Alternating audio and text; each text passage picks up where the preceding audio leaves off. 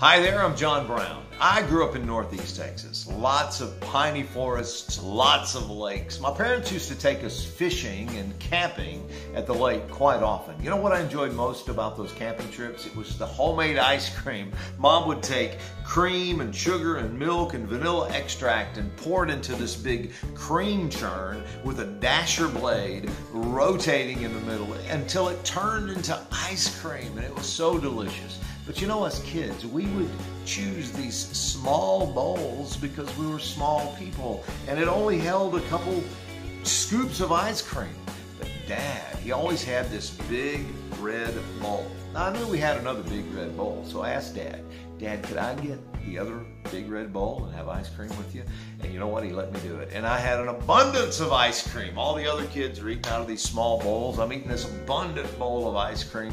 The reason I tell you this is because when we choose our own plans, a lot of times we choose a little too small. Listen, God has an abundant life for us, a bowl of abundant life. Jesus even said himself, I am come that they might have life and that they might have it abundantly.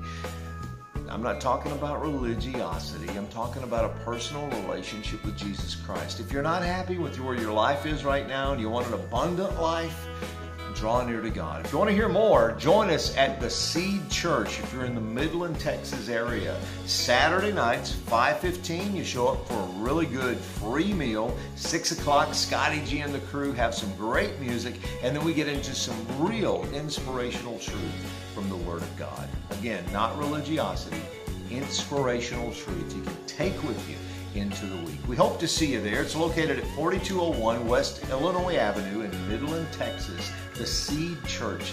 See you there this Saturday night.